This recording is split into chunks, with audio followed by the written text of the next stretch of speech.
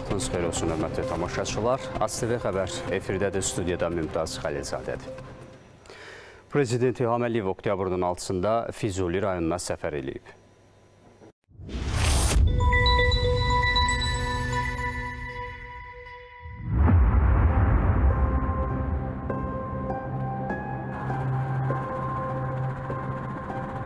Prezident İlham Əliyev bərpa və quruculuq prosesi çərçivəsində ümumilikdə 29 yaşayış məntəqəsinin təməlini qoyub. Eyni zamanda indi ərazisində dayandığımız Füzuli şəhəri böyük qayıdışın baş tutduğu 5 yaşayış məntəqəsindən biridir və bugün Füzulidə növbəti yaşayış məntəqələrinin və infrastruktur layihələrinin təməli qoyulacaq.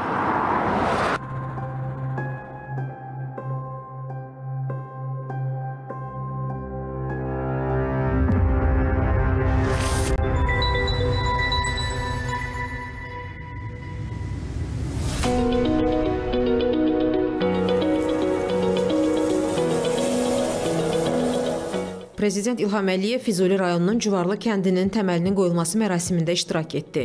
Qarabağ İqtisadi rayonuna daxil olan işğaldan azad edilmiş ərazilərdə Azərbaycan Respublikası Prezidentinin xüsusi nümayəndəsi Emin Hüseynov kənddə görüləcək işlər barədə məlumat verdi. Bildirildi ki, Cuvarlı kəndinin layihələndirilən ümumi ərazisi 115 hektardır. Kəndə 1697 nəfərin köçürülməsi planlaşdırılıb. Burada ümumilikdə 291 fərdi ev və 2-4 mərtəbəli 21 yaşayış binası tikiləcək.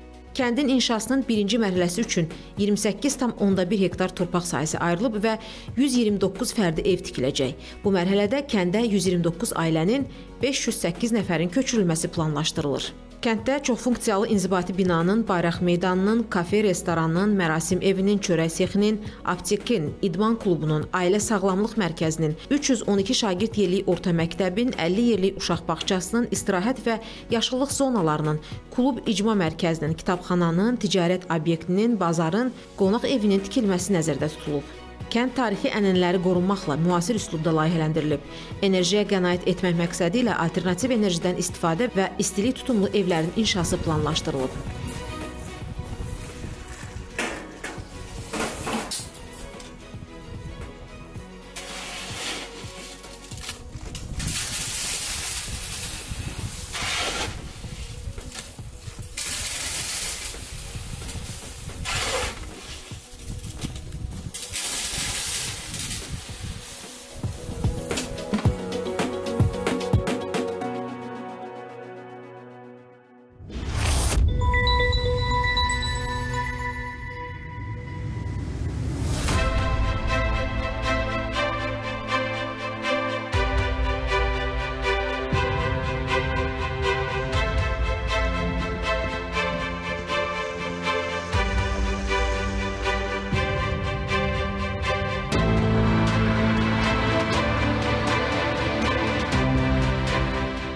Füzuli rayonu Qoçəhmətli kəndinin baş planı 1364 nəfər əhali üçün layihələndirilib. Kənddə 341 fərdi yaşayış evinin inşası nəzərdə tutulub. İlk mərhələdə kəndə 204 ailənin 710 nəfərin köçürülməsi planlaşdırılır. Eyni zamanda baş plana əsasən kənddə inzibati bina, bayraq meydanı, 264 şagird yerlik məktəb binası, 25 yerlik uşaq bağçası, idman meydançası, tibb məntəqəsi, məişət xidməti obyekti, klub icma mərkəzi, idman sağlamlıq mərkəzi və sosial infrastruktur obyektinin tikintisi nəzərdə tutulur. Eyni zamanda bərpa prosesində məşğulluq məsələləri də nəzərə alınıb.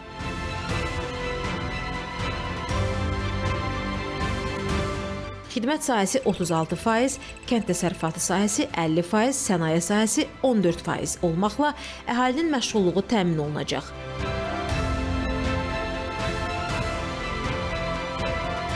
Məlumat verildi ki, kənd tarixi ənənələri qorunmaqla müasir üslubda layihələndirilib. Enerji daşıyıcılarına qənaət etmək məqsədi ilə alternativ enerjidən istifadələr, istilik tutumlu evlərin layihələndirilməsi hədəf qoyulub.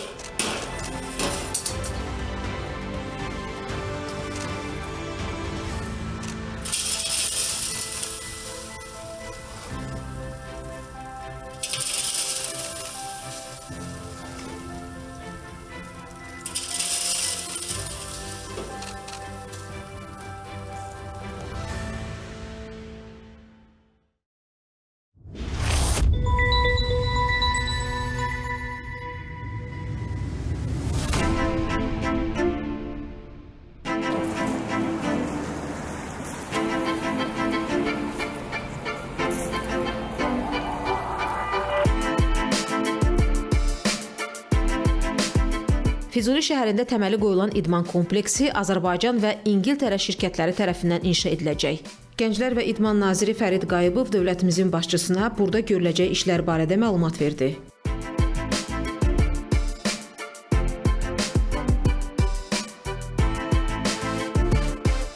Tikinti işlərinin 2024-2026-cı illəri əhatə etməsi nəzərdə tutulub. Binada 200 yerlik tamaşaçı tribunası olan basketbol, voleybol, handbol, badminton, mini futbol məşqlərinin və yarışların, eyni zamanda bir sıra idman növləri üzrə yarışların keçirilməsinə imkan verən universal zal, üzgüçülük, güləş, judo, boks, karate və trenajor zalları olacaq.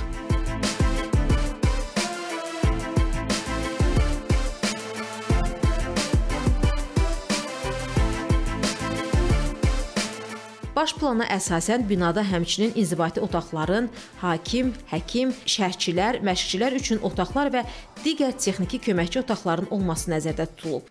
Kompleksə mini futbol və açıq hava idman meydançaları da daxildir.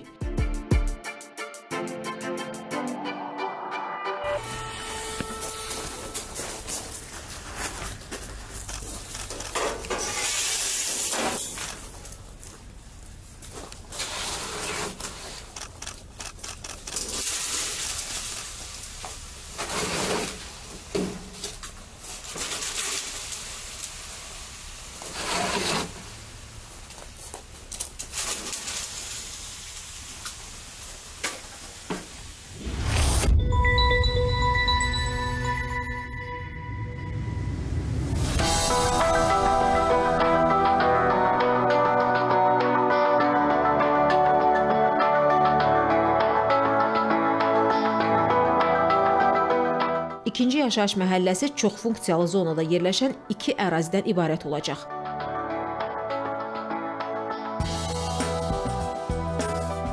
Kompleks 653 mənzildən ibarət olmaqla 2288 nəfər əhali üçün layihələndirilib.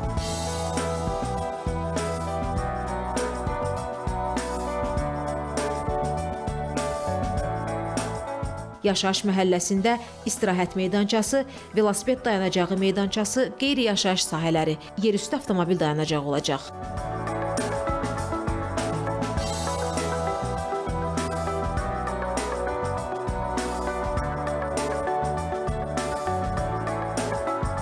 Binalar daimi su, elektrik təchizatı və yüksək sürətli internet xətti ilə təmin ediləcək.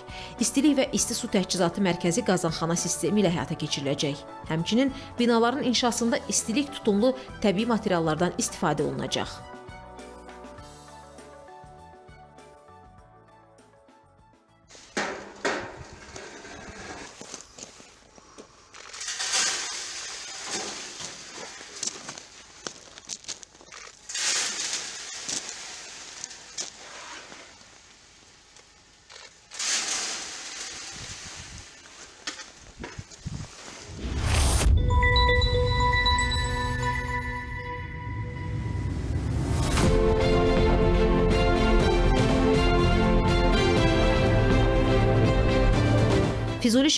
240 yerlik uşaq bağçasının inşası məqsədi ilə 2,41 hektar torpaq sahəsi ayrılıb.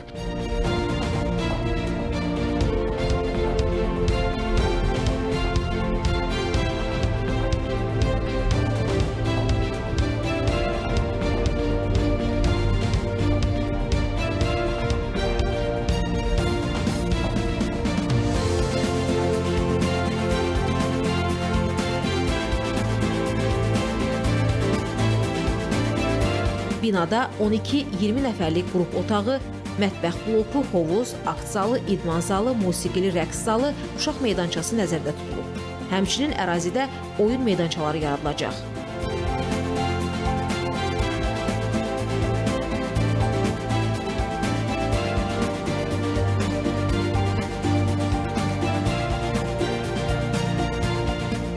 Sakinlərinin rahatlığının təmin olunması məqsədi ilə yaşayış binalarının düz qarşısında yeni uşaq bağçası inşa olunur. Prezident İlham Əliyev yeni Körpələr evi uşaq bağçasının təməl qoyma mərasimində iştirak edir.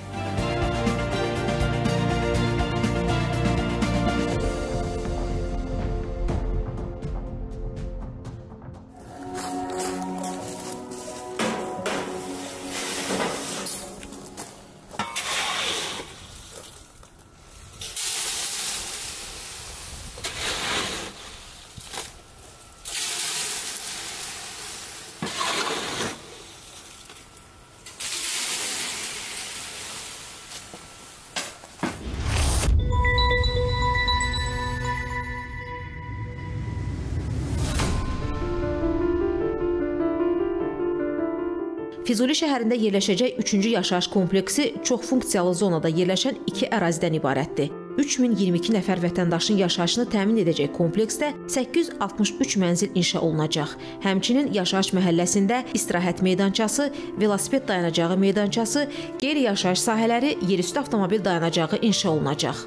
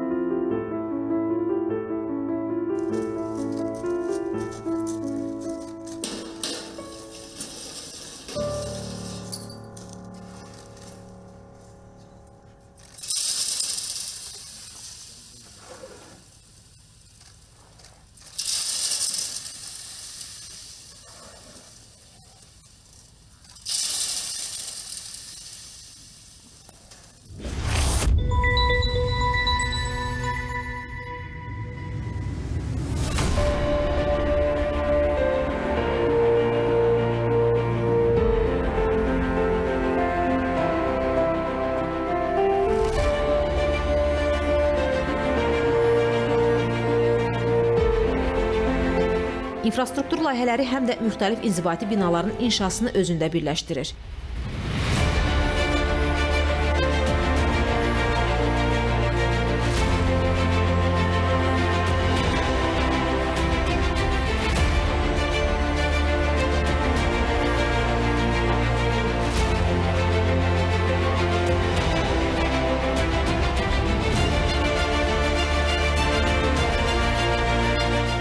Füzuli şəhərinin inzibati mərkəz ərazisinin sahəsi 12,39 hektar, inzibati bina ərazisinin sahəsi 4,41 hektar planlaşdırılıb.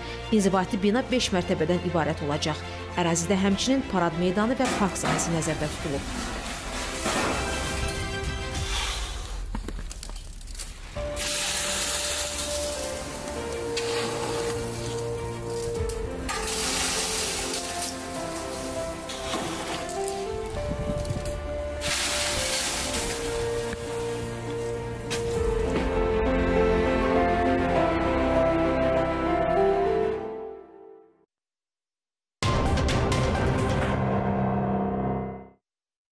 Hörmətli tamaşaçılar, biz ASTV xəbər komandası olaraq hər zaman çalışırıq ki, məhz ekskluziv xəbərləri təqdim eləyək, ekskluziv kadrları yayımlayaq və təvazökarlıqdan uzaq olsa da deyə bilərik ki, bunu bacarırıq da. İndi sizə Xankəndini göstərəcəyik. 30 ildən sonra Xankəndidən ilk reportajımızı təqdim eləyirik. Sədaqət Süleyman Xankəndidə olmağın qürurunu yaşayıb.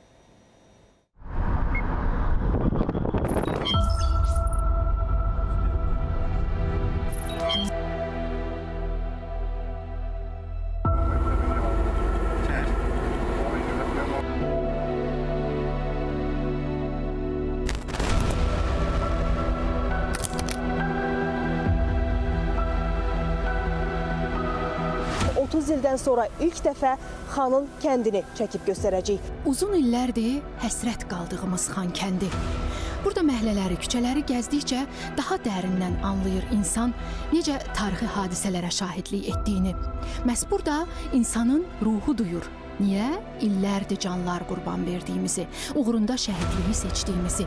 Bəli, burada yenidən bayrağımızın dalğalanması üçün ölümün üzünə dik baxmağa dəyərdir. Axı biz gələcək nəsillərə bütöv Azərbaycanı ərmağan edirik. Axı biz onlara müzəffər ölkədə yaşamağı qismət etmişik. Özü də bu qalibiyyəti, bu qətiyyəti bütün dünyaya bəyan edirik.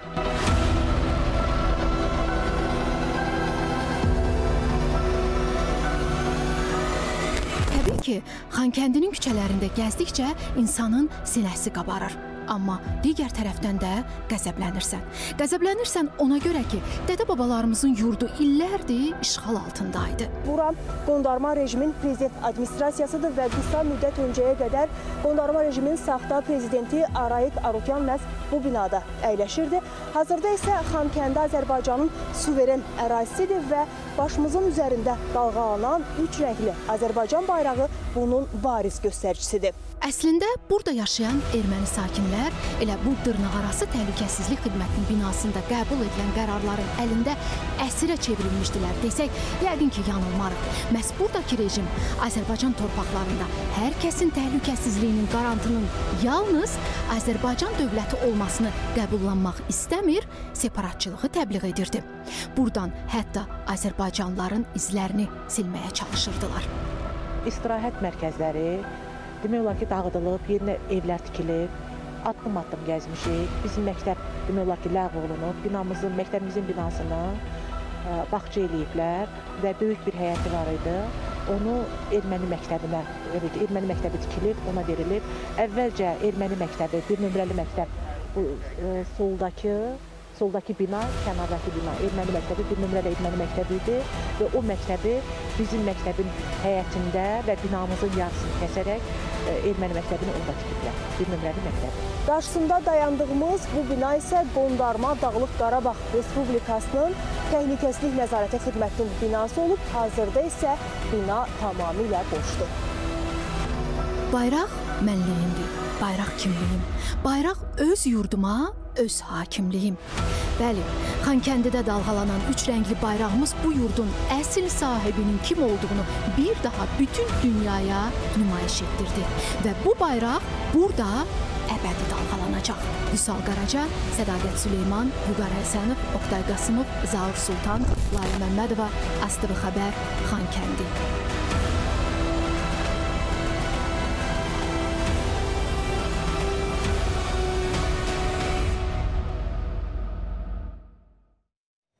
Prezident İlham Əliyev əsl strateqdir. Bunu xarici siyasət üzrə Amerikalı tanınmış ekspert Brenda Schaffer deyib. O, dövlət başçımızın Azərbaycan ərazi bütövlüyü və suverenliyini bərpa etməklə yanaşı sülh yaratma yolunda atdığı addımları yüksək qiymətləndirib. Um, Düşünürəm ki, Prezident İlham Əliyevin üstün xüsusiyyətlərindən biri onun əsl strateq olmasıdır. Bugün dünyada çox az lider strateqdir. Amma İlham Əliyev siyasətin planlaşdırılmasında, xüsusən də beynəlxalq arenada şahmatçı kimi 9-10 addım irəlini düşünür. İkincisi, mən hesab edirəm ki, Prezident İlham Əliyevin başqa bir əlamətdar xüsusiyyəti onun xalqa əsl rəhbərlik, liderlik etməsidir. İndiki vaxtda bir çox dünya lideri qütblərə söykənir və populist tələblərə cavab verməyə çalışır. Demək istədiyim odur ki, Azərbaycanda 27 il yurt yuvasını itirmiş 1 milyon qaçqının böyük faciələr yaşadığını nəzərə alsaq, bugün çətin olsa da prezident başa düşür ki, sülh Azərbaycan və Ermənistan xalqları üçün ən yaxşısıdır. Düşünürəm ki, Azərbaycanın Qarabağ və ətraf 7 rayon üzərində öz suverenliyini bərpa etməsi sübut edir ki, sülh üçün gücə malik olmalıdır olmalısan. Əgər sizin suverenliyinizi bərpa etmək, təhlükəsizlik yaratmaq, çox aydın xətlər yaratmaq qüdrətiniz yoxdursa, sülhə getmək mümkün deyil. Prezidentin xüsusilə Xankəndiyə və bu yaxınlarda işğaldan azad edilmiş digər ərazilərə səfəri həqiqətən də Azərbaycanın müstəqilliyinin bərpasıdır. Hesab edirəm ki, bu müharibənin həqiqətən də sonu olacaq və bu iki ölkə arasında sülhə zəmin yaradacaq which will pave the way for the peace between Azerbaijan and Armenia. Türkiyə, Almaniya, Rusiya və Gürcüstandan da bu tarixi hadisəyə ekspertlərin münasibətləri var. İndi də onları təqdim edirik. Cumhurbaşkanımız e, İlham Aliyev o bayrağı böyle öpüp biliyorsunuz Han kendinde e, gönderecekti. Artık Han kendinde Azerbaycan bayrağı var. Onun için dün uzun uzun ona baktım. Allah o bayrağı oradan hiç indirmesin. Ee, Türk milleti birlikte hareket ettiğinde, e, kardeşler birbirine sarıldığında e, zaferler geliyor. Allah birliğimizi, e, dirliğimizi kıyamete kadar bozmasın. Allah gücümüzü e, başka şeylerle sınamasın. E, bence bundan sonraki süreç işgalden kurtardığımız yerleri kısa zamanda imar güzelce imar aç imar imar etmek insanlarımızın tekrar topraklarına gelip yerleşmesini sağlamak. Azerbaycan için tarihi bir gün daha Han kendine Azerbaycan'ın üç renkli bayrağı çekildi. Biz de Türkiye'li akademisyenler olarak bundan iftihar ediyoruz, gurur duyuyoruz. Bu örnek bize Azerbaycan'ın geçtiğimiz bağımsızlık sürecinde ne kadar doğru politikalar izlediğini, dış politikada, iç politikada ne kadar önemli kazanımlar elde ettiğini bir kez daha gösterdi. Önümüzdeki süreçte de e, işgalden kurtarılan toprakların buranın iskanıyla, burada gerçekleştirilecek kalkınma hamleleriyle yeniden eski güzel günlerine döneceğine ben inanıyorum. Bugün Han kendinde çekilen Azerbaycan bayrağı da e, bunu sembolize ediyor. Azerbaycan'ın aydınlık geleceğini sembolize ediyor. Ve bu süreçte Azerbaycan'ın Türk dünyası bütünleşmesi için çabalarının da bir neticesi olduğunu söyleyebiliriz.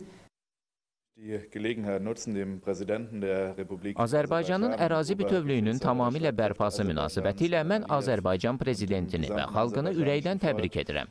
Dövlət bayrağının prezident İlham Əliyev tərəfindən Xankəndində qaldırılması onu göstərir ki, bu proses başa çatdı. Əlbəttə qarşıda hələ çox iş var. Məcburi köçkün düşmüş 1 milyon Azərbaycanlının doğma torpaqlara qayıtmasını təmin etmək, oradakı ermənilərin reinteqrasiyası. Ermənistanın baş naziri Nikol Paşinyan da Azərbaycan Azərbaycanın ərazi bütövlüyünü tanıdığını bəyan edib. Qafqazda yenidən sülh olacağına ümidlər artır.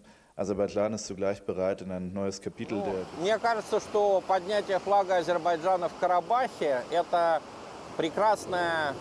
Fikrimcə, Azərbaycan bayrağının Qarabağda ucaldılması çox gözəldir. Müasir dünyada ən çox və ən düzgün şəkildə siyasətçilər peşəkarlığına görə qiymətləndirirlər.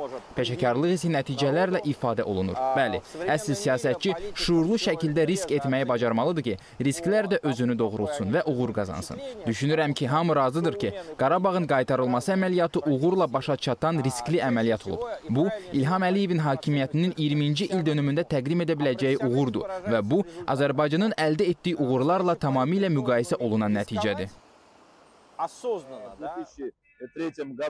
2003-cü ildə İlham Əliyev inaqurasiyası zamanı dedi ki, mən Azərbaycanın ərazi bütövlüyünü bərpa edəcəm, dedi və sözünü tutdu. Mən bütün Azərbaycan xalqını bu şanlı gün münasibəti ilə təbrik edirəm. Azərbaycan bayrağı Azərbaycan ərazisi olan Xankəndində qaldırıldı. Baş verənlər region üçün tarixi bir hadisədir. Bu bir daha sübut etdi ki, doğru və əzmkar çalışaraq bütün maneələri aşıb ərazi bütövlüyünü bərpa edib bütöv bir dövlət qurmaq mümkündür. На территории Карабаха в городе Ханкинды. Я поздравляю азербайджанскому народу Azərbaycan xalqını təbrik edirəm. Dünyada baş verən müharibələr fonunda Azərbaycan bayrağının Xankəndində dalğalanması yalnız sülhə xidmət edəcək. Regionda ən çox ehtiyac yalnız sülhdədir. Azərbaycan bayrağının Xankəndində dalğalanması böyük tarixi hadisədir. Çünki bununla Azərbaycan öz tarixi ərazilərini birləşdirib bütün oldu.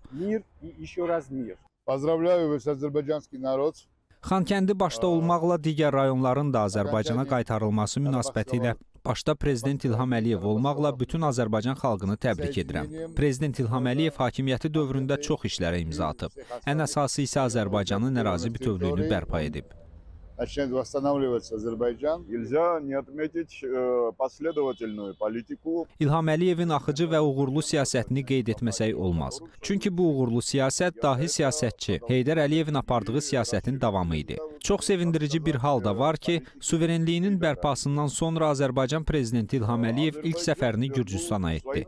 Biz bunu yüksək qiymətləndiririk və əlaqələrimizin daha da sıx olacağına inanırıq. Мы это ценим. İsrail-Həmas müharibəsi davam edir. Son məlumata əsasən Həmasın silahlı qanadı Təl-Əvvə növbəti raket hücumu həyata keçirdiyini iddia eləyib. İsrail ordusu isə Qəzza zolağının Xan Yunis bölgəsində Həmasın kəşfiyyat rəhbərini məhv edildiyini açıqlayıb. Bu barədə ordunun mətbuat xidməti məlumat yayıb və yeri gəlmişkən ABŞ-nin dövlət katibi Anthony Blinken İsrail prezidenti İshak Herzogla görüşüb. Bu barədə Blinken X sosial şəbəkə hesabında paylaşım eləyib. Hörmətli tamaşaçılar, indi biz İsrailə bağlanırıq. Qaynar nöqtədə baş verənləri İsrail ezam olan əməkdaşımız Kamil Eldaroğlu bizə çatdıracaq. Kamil, hər vaxtınız xeyir olsun, sizi salamlayırıq. Efirimizdə son məlumatlar sizdədir. Eşidirik. Buyurun.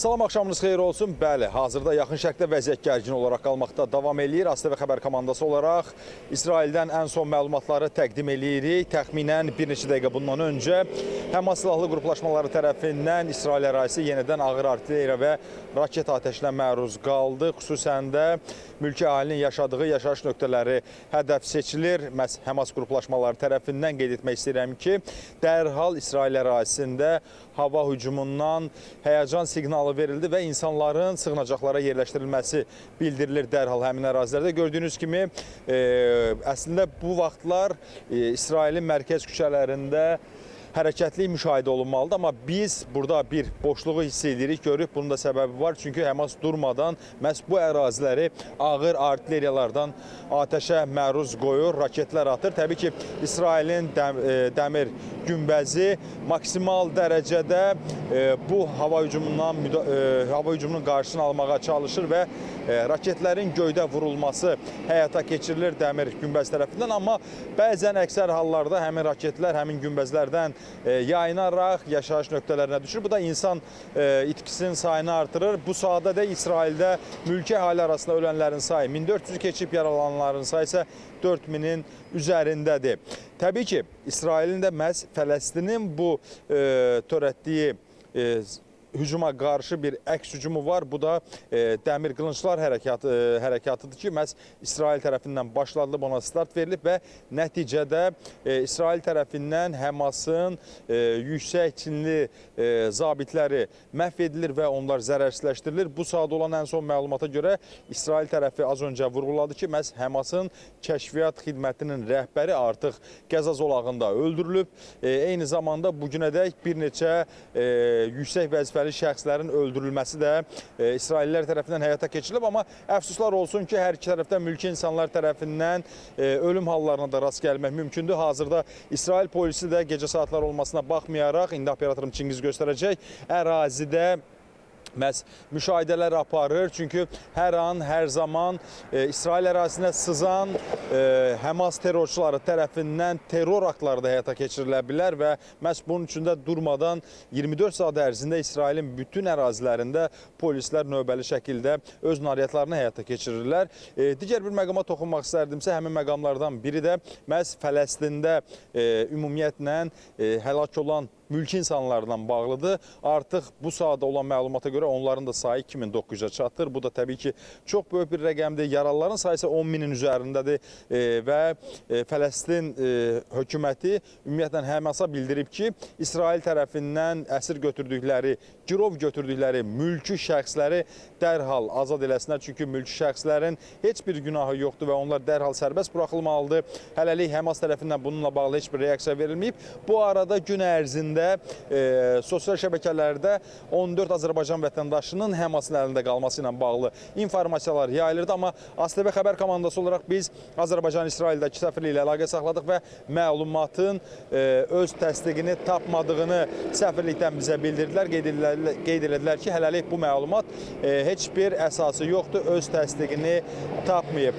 Ümumilikdə bir daha vurğulamaq istəyirəm. Oktyabr ayının 7-sindən etibarən Həmas e, qruplaşmaları tərəfindən e, İsrail ərazisinə ağır artilleriya və raket hücumları başladı və bu ağır artilleriya və raket hücumları təbii ki, mülki insanların ölümünə səbəb oldu. Hazırda yaxın şərqdə həm geosiyasi vəziyyətlər olduqca pik həddədir. Eyni zamanda e, müharibə e, sözün bütün mənalarında İsrailin həm də Qəza zolağının bütün ərazilərində demək olar ki, hökmranlıq edir. Gün ərzində ASTV xəbər komandası olaraq biz Aşdod şəhərində olduq, Aşkelonda olduq. Eyni zamanda oradakı mövcud durumu da izləyicilərimizə təqdim edə bildik. E, səhər saatlarında isə təbii ki, e, digər bir istiqamətdən ən son məlumatlar çatdırmağa çalışacaq. Qeyd etmək istəyirəm ki, İsrail ordusu məhz 3 cəbhədə artıq öz mübarizəsini həyata keçirir.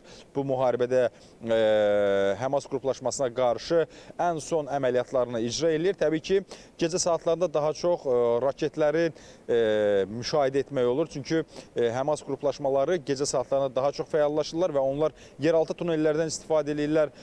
Müxtəlif cür quslar üsulla hazırlanan e, raketlərini gecə saatlarında işə salmağa çalışırlar ki, o da insanların yaşayış binalarına düşür. Nəticədə mülki insanlar arasında yaralanan, dünyasını dəyişənlərin sayı durmadan artır.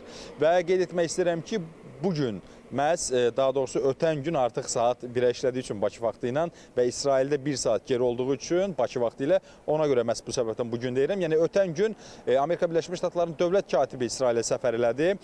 Növbəti günlərdə isə digər rəsmilərin bu ölkəyə səfəri nəzərdə tutulur və xüsusən də Amerika Birləşmiş Ştatlarının prezidenti Joe Bidenin ölkəyə səfəri nəzərdə tutulur. Bir məqama toxunmaq istərdim ki, məhz Amerika Birləşmiş Ştatları dövlət katibi Blinken məhz İsrail prezidenti İsaq Hersogla görüşdü və görüşündə də mülki insanların hədəfə alınmasının doğru olmadığını bir daha vurğuladı və qeyd elədi ki, Amerika Birləşmiş Ştatları Həmasla bu mübarizədə, müharibədə hər zaman İsrail ordusunun yanındadır. Belə, bu sada təqdim edəcəyim xəbərlər bu qədər. Buyurun, söz sizdədir.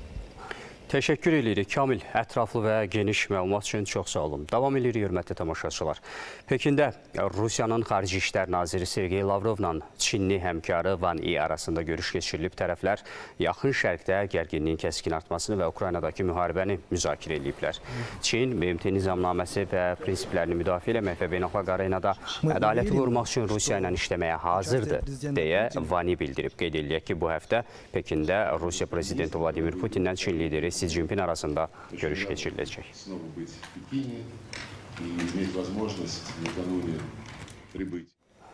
Polşada parlament seçkiləri ilə birgə keçirilən referendum baş tutmayıb, belə ki, ümumxalq səs verməsində seçicilərin cəmi 40% iştirak edib.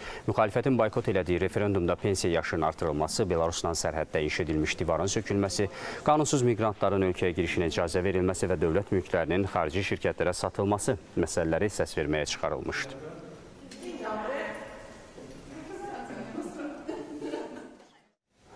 Fransada bir neçə gün əvvəl bıçaqlı hücumun qeydə alındığı lisey bu dəfə terror təhlükəsi ilə bağlı boşaldılıb.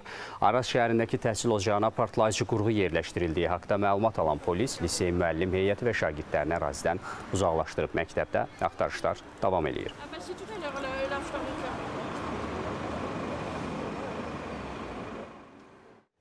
Hörmətli tamaşaçılar, son olaraq qaynaq xətimizi diqqətinizə çatdıraq 051 511 1956 nömrəsinə zəng eləyib qarşılaşdığınız hadisələr, mövzular, təklif və iradlarınız barədə məlumat verə bilərsiniz. Eyni zamanda WhatsApp və Telegram hesabımız vasitəsilə də bizlə əlaqə yaratmaq mümkündür. ASTV xəbəri təqdim elədik. Diqqətiniz üçün təşəkkür edirik. Sağ olun.